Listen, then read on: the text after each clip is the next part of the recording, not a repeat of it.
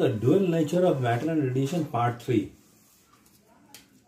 in which so um, before part 3 we have discussed the fundamentals of the uh, dual nature of matter and radiation types of emission etc etc and in that particular part we have discussed that when a photon is going to hit onto the metal then the elect- electron free electron comes out.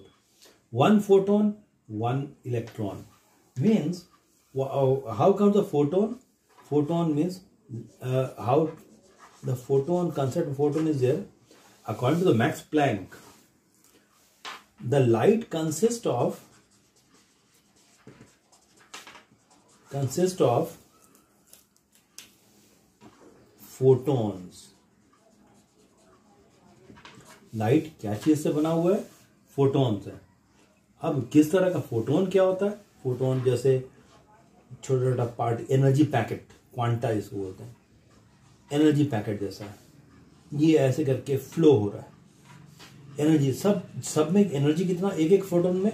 H nu h nu h nu इस तरह से just like the the packet of milk is flowing in a particular direction ये Max Planck का concept था। तो एक एक photon में एनर्जी कितना होता है? H nu energy in one photon is is h nu so we are going to discuss the characteristic the properties of the photon so here the one one electron and photon when the photon is going to hit photon comes from the concept of the light light consist of the photon ये मान लेते हैं electron है। ये एक photon एक photon इसको hit करेगा तो एक इलेक्ट्रॉन ही निकलेगा। एक फोटोन इसको हिट करेगा, एक क्या निकलेगा? एक इलेक्ट्रॉन ही निकलेगा free electron that is a very important concept so photon के बारे में हम लोग थोड़ा बेसिक चीज़ जानेंगे। Photon is the number one packet of energy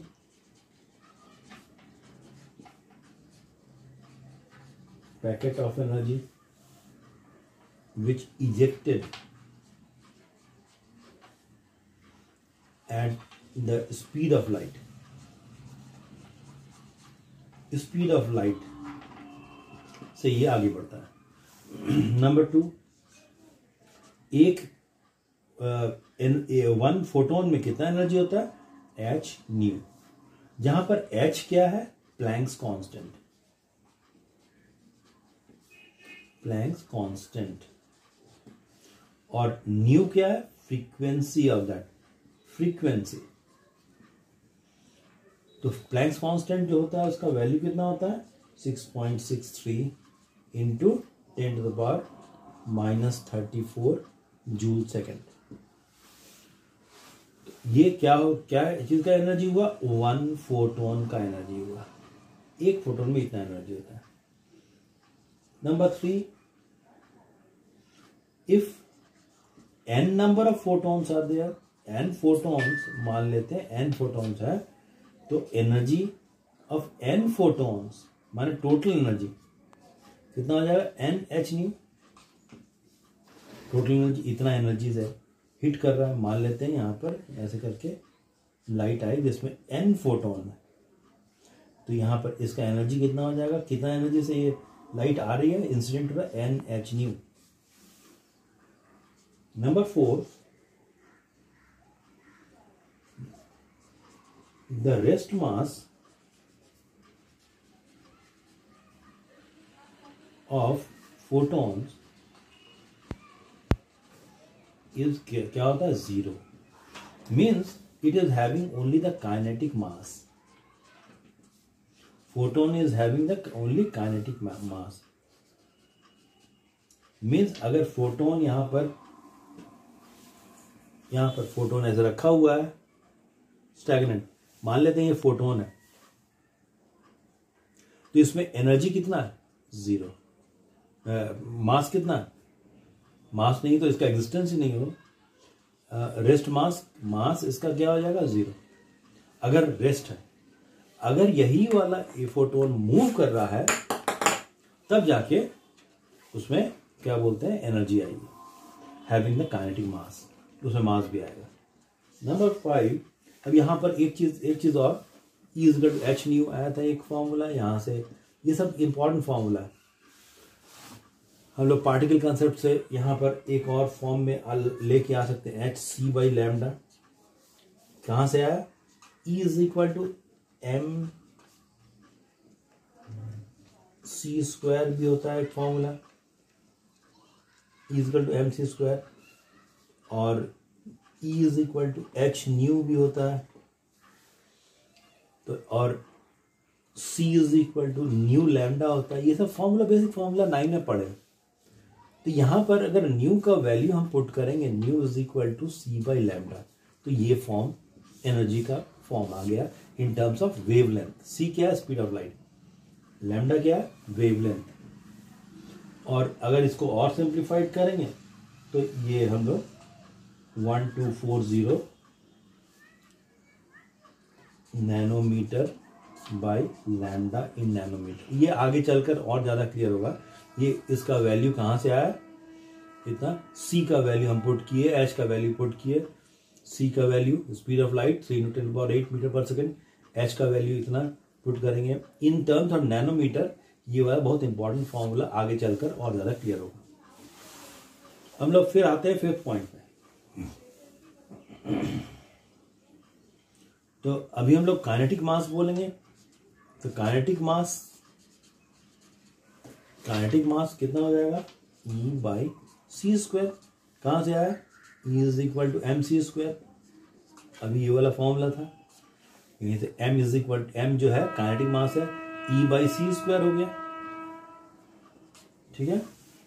यहाँ से हम लोग निकाल सकते हैं। जो ज, जिस तरह का फॉर्म हमको ज़रूरत है हम उसका यूज़ कर सकते हैं। मोमेंटम फिफ्थ है momentum of photon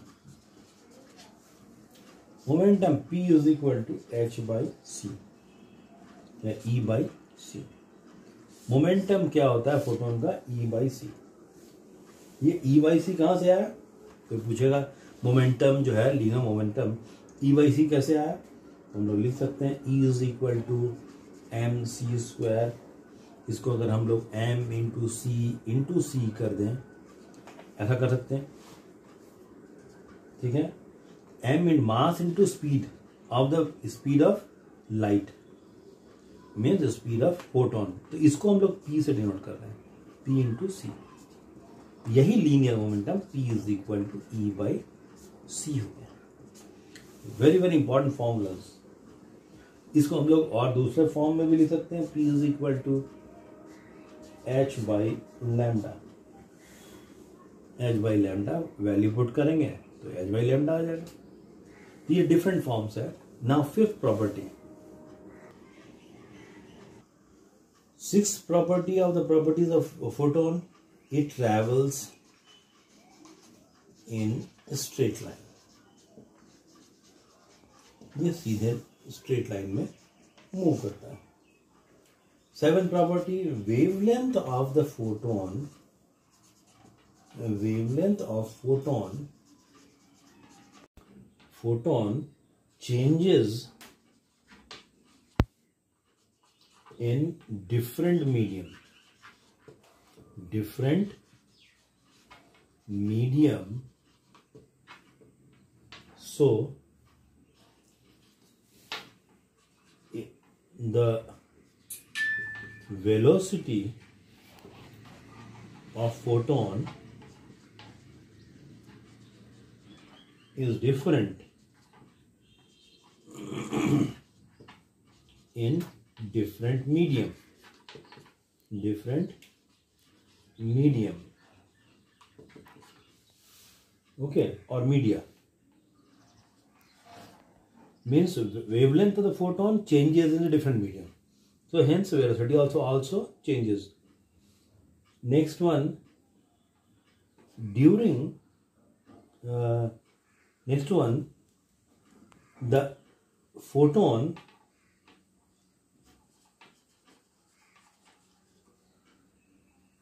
is neither deflected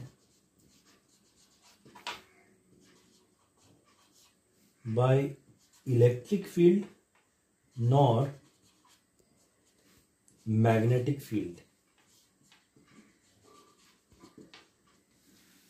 Photon जो है किसी भी, चाहे वो इलेक्ट्रिक फ़ील्ड हो या मैग्नेटिक फ़ील्ड हो, उसे डेविएट नहीं करता है because it is not having charge next during collision during collision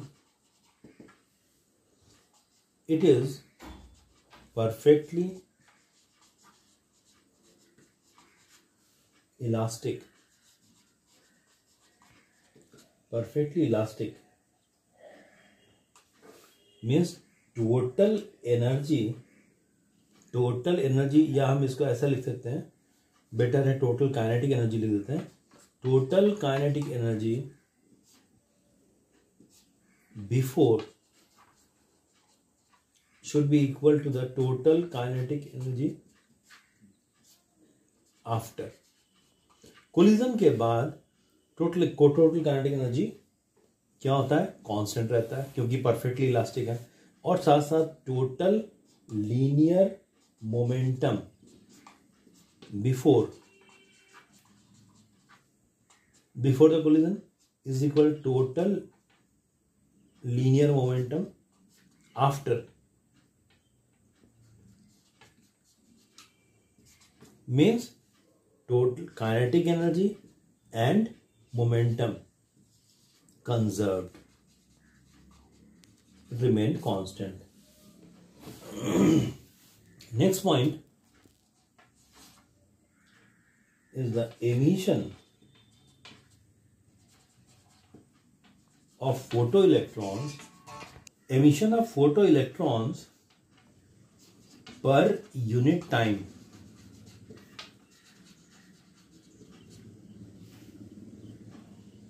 Is independent independent of the intensity intensity of incident photon.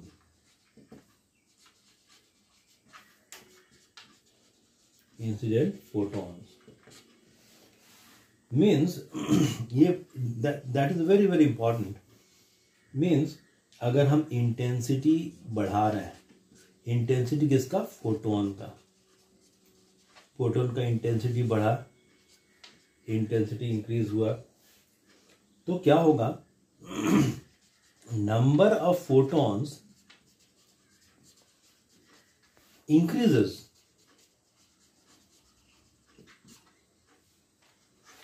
number of protons per unit area per unit area per unit time increases number of protons जो निकल रहा है, वो increase हो जाएगा।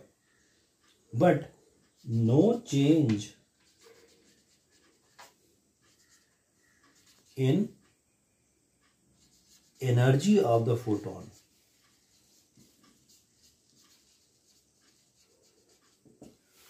photon जो है, उसका एनर्जी में कोई चेंज नहीं होगा। नो चेंज इनर्ट्स एनर्जी तो होगा क्या? तो यहाँ पर ऐसा हो रहा है कि ऐसा यहाँ पर मान लेते हैं मेटल है। यहाँ पर ये ये लेके चल रहे हैं, मान लेते हैं बल्ब थर्मोनिक है। और बल्ब को बल्ब को, ये बल्ब वन है और ये बल्ब टू ठीक है? अगर हम लोग ये लेके चल रहे हैं, ये दो बल्ब है तो होगा क्या? और सेम वेवलेंथ का इसका वेवलेंथ भी यही है। लैम्डा इसका भी इसका भी वेवलेंथ सेम तो अगर यहाँ पर, जैसे ये इसका फिलामेंट गर्म होगा तो यहाँ से इसका इलेक्ट्रॉन निकलना शुरू करेगा। यहाँ पर ज़्यादा इलेक्ट्रॉन अगर निकल रहा है, यहाँ पर मान लेते हैं कम इलेक्ट्रॉन निकल रहा है तो हम बोलेंगे यहाँ पर इंटेंसिटी मोर है और यहाँ पर इंटेंसिटी लेस है।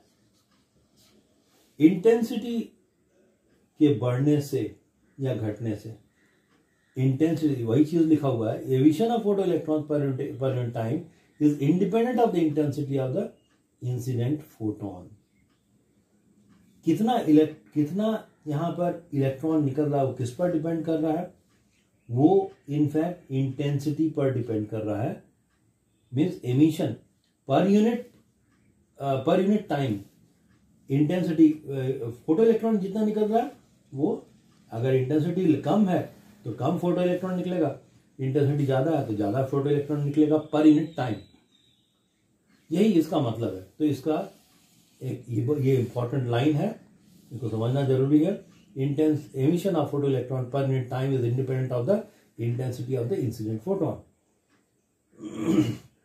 right लेकिन फोटोन का कोई energy energy of the photon या energy of photon does not change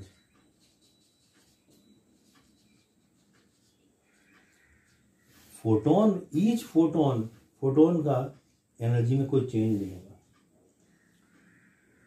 Okay that is all about the properties of the photons in the part three